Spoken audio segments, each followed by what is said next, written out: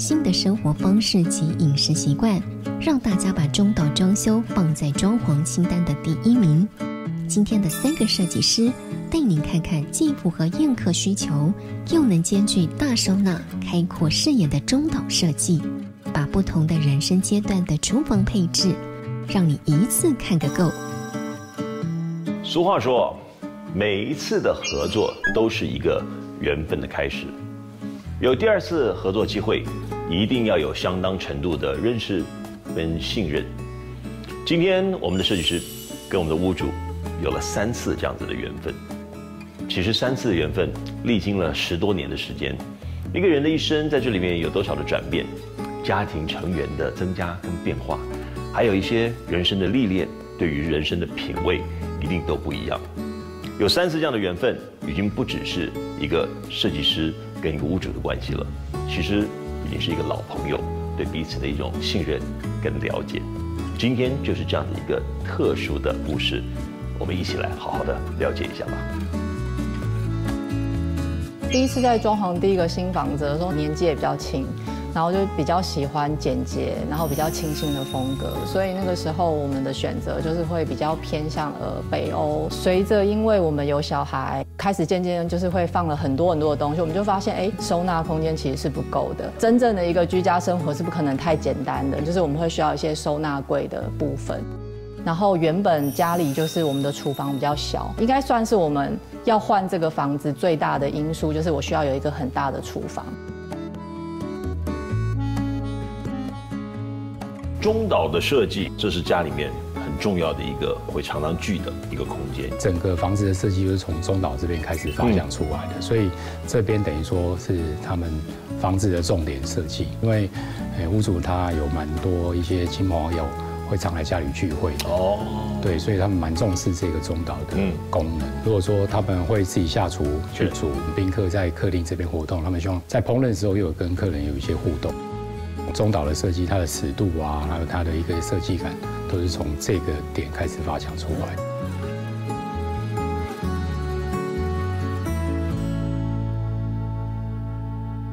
能够实现这个东西，其实是老婆快乐，我就轻松了。其实是这个样子，对对对。有良好的生活环境，我觉得对于我们的每天的心情啊，的确是一个很不一样的感受。我想有这样子的社交的空间，我觉得跟朋友、跟家人的一个一个互动，呃，我觉得也会有很很大的一个帮助。不一样，对对。我们希望说在设计上面带一些华丽感，嗯，对，所以我们把大理石的一些元素把它带进来到这个中岛的一个立面，嗯，对，那我们选用了大片的。这种薄片的石材来做装饰，颜色上面我们希望说尽量到时候可以跟其他的设计融入进来啊，所以颜色选用我们用黑白色的色系，点缀这个上方的这个吊架的酒架，嗯，做一些金色雾面的搭配。光是有了它，好像就有一个主题性的感觉了，大家的集中力就会在那里了。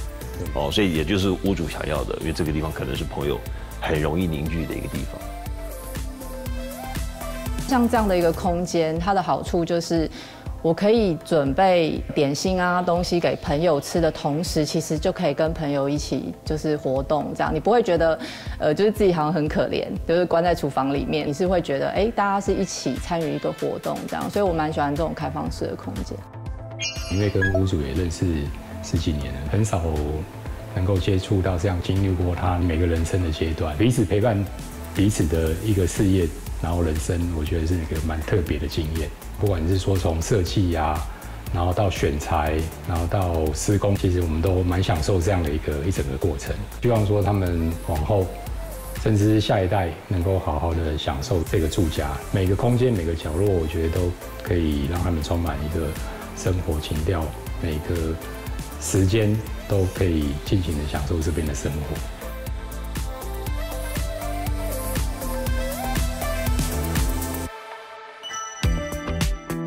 阔的空间配置可以增加父母与孩子间的情感交流。接着，我们来看看第二款的中岛设计，把老屋翻新成虏获爸妈和孩子们的用餐空间。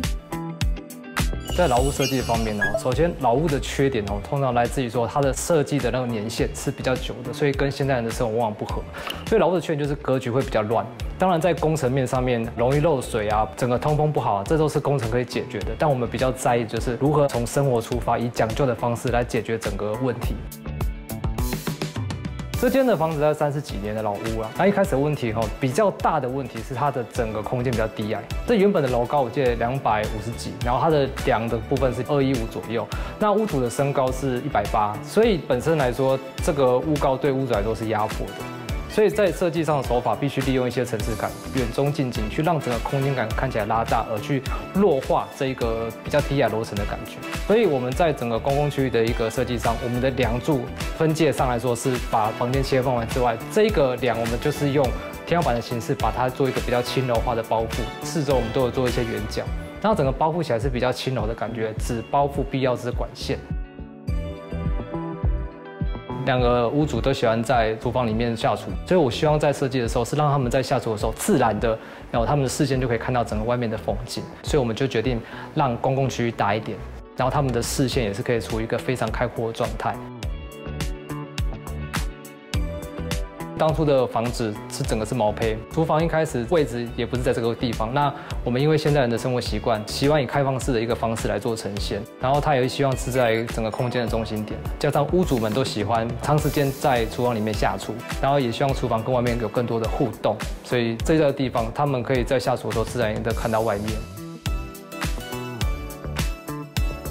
整个收纳的部分呢，我们尽量减少上柜的设计，让空间通透感呈现一个比较舒畅的一个状态。那主人在这边使用的时候，他就可以跟公共区域的其他的，不管是小孩或是家人或是客人，他们的互动就会非常的直接。所以我们就把它安排在这个位置。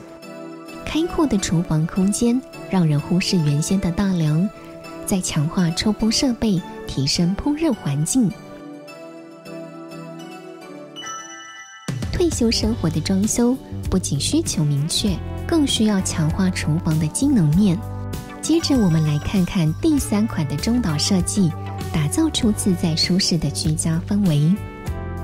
这个房子是一个新城屋，那虽然是新城屋，其实在格局上还是有它的一些可以调整，跟更符合屋主使用的状态。那我们屋主是一对将近退休的夫妻，他们也希望说可以有一个退休的住宅可以去做使用。屋主有说过，他们比较喜欢古典的、比较典雅的东西。那现在已经距临退休的状态的时候，他们希望说所有的东西可以再轻松一点、简单一点。所以我们希望说从中间去取得一个平衡。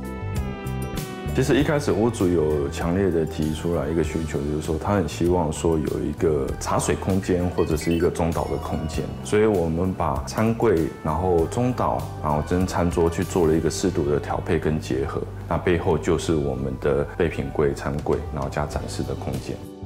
中岛这一颗石头是配合我们前面那一块电视墙的大理石去做一个呼应。然后用法国边去做修饰，去滚边。那餐桌的话，去把它做一个圆弧形的造型起来。